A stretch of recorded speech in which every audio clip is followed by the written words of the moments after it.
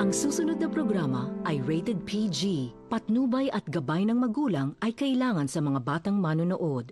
Titri kapatid sagot kita Mga masama lagot ka na Ang babangga magigiba Ang aksyon na agad sila Titri Sa ulo ng bakbakan ngayong gabi, bidang-bida ngayon ang COMELEC dahil desidido raw silang sampula ng mga mandaraya noong 2007 elections. Pero kontrabida ang COMELEC dyan sa Baras, Rizal dahil sa hindi sila desididong tulungan ng mga residente na mabigyan ng voters ID. Abay, aambusin natin yan. Sa Camp Kapintin, Tanay Rizal, may tatlong sundalong inireklamo non-rape daw ng isang dalagita matapos painumin ng pampatulog. Ang pobreng biktima ay tulala na ngayon at dinala na sa mental institution na sira na ng ulo dahil nga po sa ginawa sa kanya. Babalikan natin sa ating guys, baka mga sundalong yan. May negosyo ba kayong alahas na ba dapat makilala niyo at madakip ang isa sa magiging perwisyo sa inyong hanap buhay? Ang babaeng estapadora ng gamit sa modus ay alahera kuno. Aming ibubuko. Sa bigwas naman ng T3, abangan ang mga solusyon sa mga reklamong aming inaksyonan.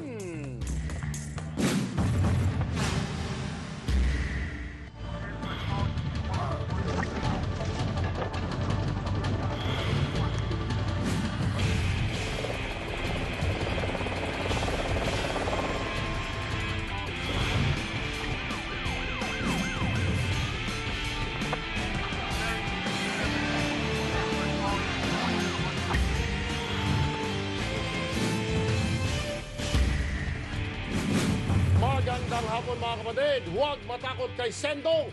Mas matakot kayo dito sa amin. Kung hindi titino ang mga pusakal dahil bagyong-bagyo, ang programang ito sa pagragasa sa at lulunod sa mga sira ang tuktok at halang ang bituka.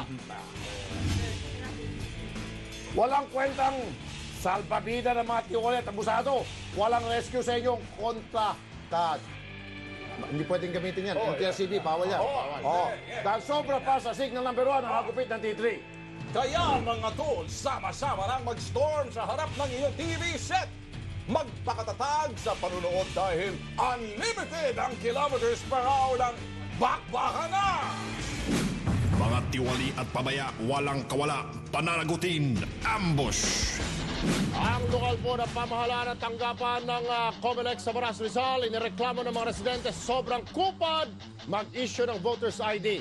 Ang palusot ng mga inutil, walang pondo para sa ID ang COMELEC? Talaga? Pangangatawanan niyo ang katuwiran yan para hindi kayo malintikan sa aming ambush. Ilang taon nang hindi makapasok sa trabaho si Kaloy dahil kulang daw ng requirement na voters ID sa kanyang papasukang trabaho. 2006 pa siya kumuha ng ID sa Comelec sa Baras Rizal. Pero matatapos na ang 2011, puro pangako pa rin ng Comelec. Tungkol po ito dun sa voters ID ko po na 2006 pa po ako nag-apply. Ngunit hanggang ngayon po, mag 2012 na, wala pa rin po sila na ibibigay. Ilang text at email din ang natanggap namin hinggil sa kabagalan ng Comelec ukol sa ID issuance. Wala pa raw pundo yung ano, dalig. Wala daw pondo, ganun. Wala daw pondo. Oo, yung pagpagawa ng ID. Wala pa rin. Nung ano pa, nung 2002. Sa surveillance camera ng T3, bukong-buko na talagang walang maibigay ang Comelec na voters ID sa mga residente. Kailan daw po ang release na? Ang gumagawa nun, hindi ka. Ah, ganun po. Oo, pinapadala lang nila sa amin kapag naman. Ay sos, sana napunta ang pondo ng Comelec. Pinuntahan namin ang opisyal ng Comelec sa Baras Rizal at ganun din ang sagot nila. Ang problema kasi sa ID, tinigil nila noong 2008, kaya yung nasabok na October 2006 po. October 20 hanggang ngayon, wala pa. Wala pang pinapin. Kaya sarkastikong giit ng mga residente, mabilis pa sa kabayo ang Comelec sa pagsasampa ng kaso sa mga kaaway ng gobyerno. Pero sa serbisyo nila sa publiko, parang bulate ang usad. Para sagutin po ang mga problemang ito, nasa linya ng aming telepono, mismo ang Chairman ng Commission on Elections, si Sixto Brillantes. Magandang gabi po, uh, Mr. Chairman. Yeah, magandang gabi ho sa inyo. Sir, bakit po taon-taon ang inaabot? Taon na ang inaabot ngayon na para makakuha po ng voters ID. At totoo ba yung sinasabi ng Baras Comelec na alaro pondo ang Comelec para dito, ah, Mr. Chairman? Pa- para saan ho ito? Para sa mga IDs? Voters ID, yes sir. Eh, 2006 pa po nag-apply. Eh, hindi pa po nabibigay ng Baras sa ah, Rizal ah, Comelec, yung ah, voters ID ng mga residente roon. Ah, Mr. hindi, Chairman. tama ho yun. Ah, meron ako nangyari kasi hindi ko naman inabot yung 2006 when I came in in 2011. Okay. Yan ho, unang-una kong chinecheck dahil marami na nagre-reklamo. Pati ako, wala pa nga ako akong Comelec ID. Ah, tinatanong ko, bakit ah, wala pang ID lumalabas? Ang nangyari ho rito, because we stopped, we stopped the production of Comelec IDs. Kasi yun, yung mga pre-produce namin after 2004, eh, kinokopya dito sa recto. So, ang ginawa ho namin, we, we came out, they came out in 2008 with a new ID with several other security features. Aha. So, dinagdagan ho namin ng security features yung mga Comelec ID ngayon. It has four security features para hindi makopya. Okay. And now we have started to reproduce them already. Mag-umpisa na ho kami, nag-distribute na kami. Uh, we have 50 million voters. Uh, I think we've distributed at this point. It's about, ang latest report ko is between 15 million. 15 million na ho all over the country. So bago So by next year sir, ah, kailan ho kaya natin inaasahan na maibibigay niyo lahat yung 50 million na yan na voters ID? Ang target po namin dito is would be actually about 6 to 8 months before the May 2013 elections. Ah, so ang ibig sabihin nito, Kailangan ho, kompleto yan before by May 2013 eh. So, six months before that, no? oh, Nagkakaroon din ho kami ng problema sa distribution. oho, Gaya ng dinadala namin kasi ho yung mga election officers namin sa mga ibang lugar. wow. Nung pinadala namin yung mga ID ron, ang ginawa naman nila, binigay naman nila sa mga barangay. Oho, Kapitan. oho, Eh, sabi ko, I think that was a wrong move giving it to the barangay kapitan kasi mga politicians din ito eh.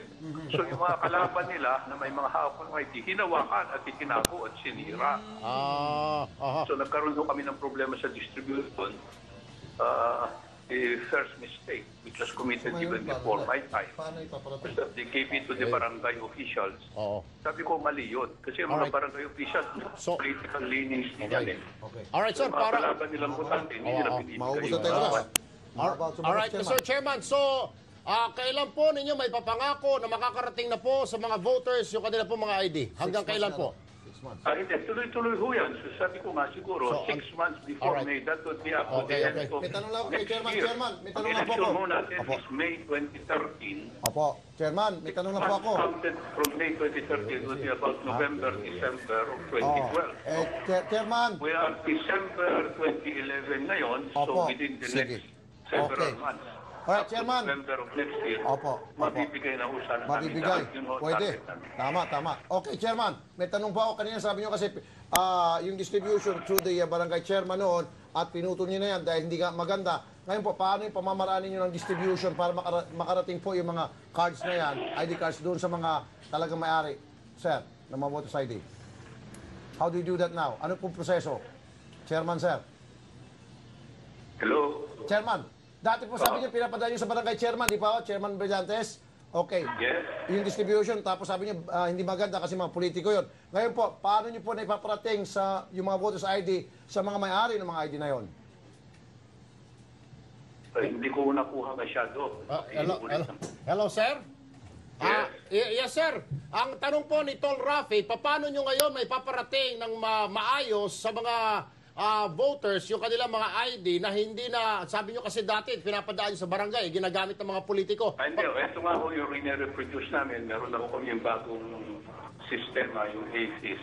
Ah, paano Yung automatic fingerprint. Ano, para Ano po ba? sa Through- through mail? Through, through, through mail po? snail Mapoproduce mail? po namin ito kagad. Mare-reproduce namin yung alam Kaya, namin. hindi kaya, nga, kaya nga, sir, uh, through, through, through mail po ba, sir? O pupunta sila sa COMELEC office mismo? Kukunin. Ang Oh. ginagawa namin ngayon is we are saying is that mag-schedule yung aming mga election officers all over the House to country. house to distribute. They will Okay. set, they will go to the Alright. places, Alright. go Oh, directly. okay. Very good. Sila mismo nagbibigay. Yun, So, okay. Bibigyan na Oo. sila ng notice Alright. Na darating sila sa Okay. particular barangay at doon sila makaabot. Alright, Okay. House uh, to house, oh. Chairman uh, Sixto Brillante, sir, maraming salamat. Magandang gabi po sa inyo.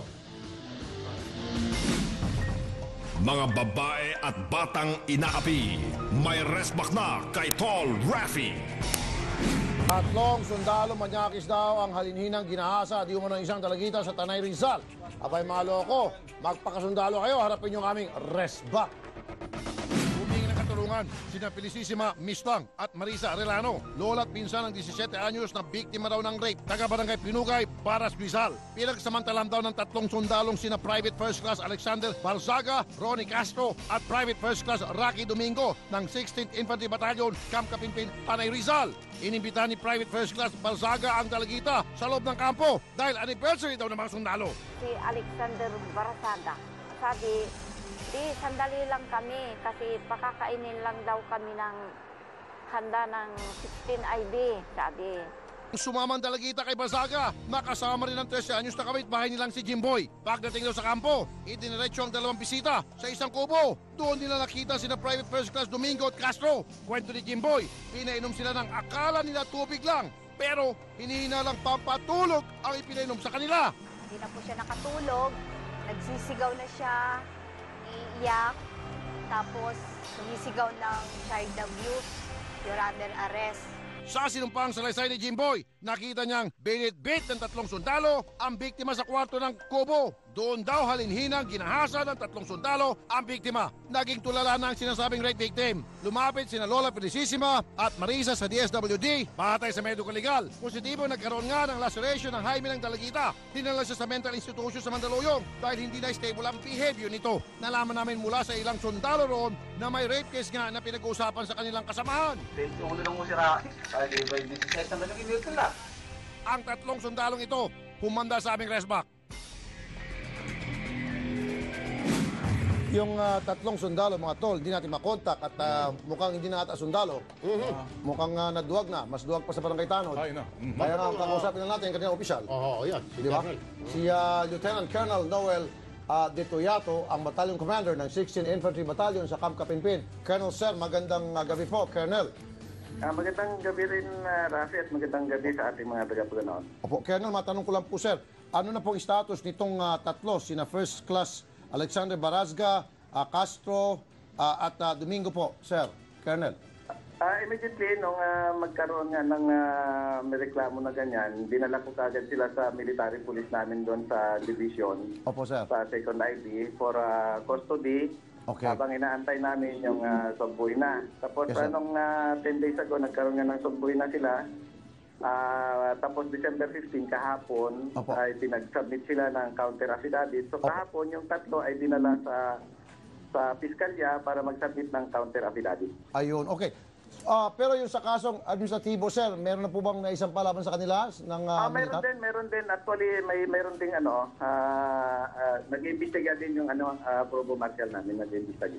Ah, so meron na pong criminal case at meron na po ring administrative case. Oo, oo. Tapos ang siyempre ang mag-take precedence diyan yung ah, ano, yung ah, criminal case Criminal. sa korte. Po, sa ngayon po, confined to quarters po sila, Sir.